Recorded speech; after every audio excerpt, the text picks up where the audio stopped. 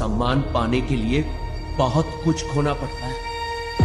बदलना पड़ता है, भूलना पड़ता है। बापू, बदला नहीं। पाकिस्तानी आर्मी के अस्सी हज़ार लोग वहाँ पर मौजूद। ऊपर से लोकल मिलिशिया हज़ार है।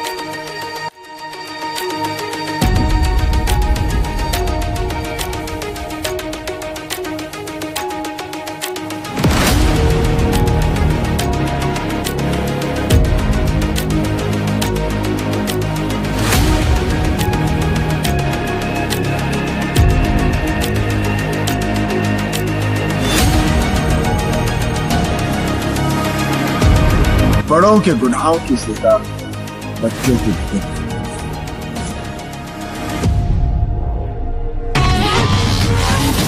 साल 2024 में सफ़र फ़िल्म के साथ वापसी करेंगे बड़े पर्दे पर सनी देओल। फ़िल्म की शूटिंग से एक वीडियो हुई, सोशल मीडिया पर काफ़ी तेज़ी से वायरल।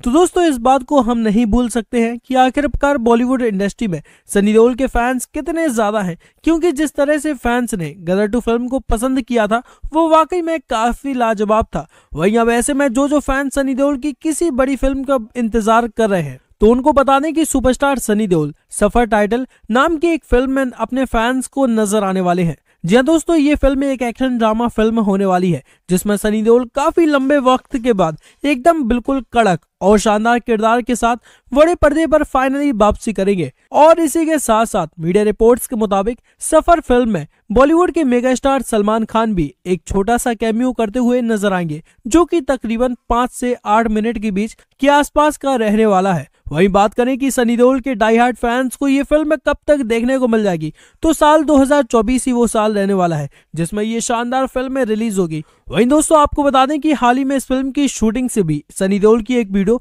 सोशल मीडिया पर काफ़ी तेज़ी से वायरल हुई थी, जिसमें ऐसा देखने को मिल रहा था कि सनी देओल शराब की हालत में मुंबई की सड़कों पर घूमते हुए नज़र आ रहे हैं, जो कि पूरी तरह से एक फेक वीडियो है। क्योंकि ये वीडियो सफ़र फ़िल्म का एक सीन का हिस्सा रहने वाली है। फ़िलहाल अब इस फ़िल्म को कब रिलीज़ किया जाएगा, ये देखना वाकई में काफ़ी एक्साइटेड रहने वाला है। फ़िलहाल सफ़र फ़िल्म की ओर से कई और अपडेट्स को जानने के लिए हमारे चैनल को सब्सक्राइब ज़रूर करें।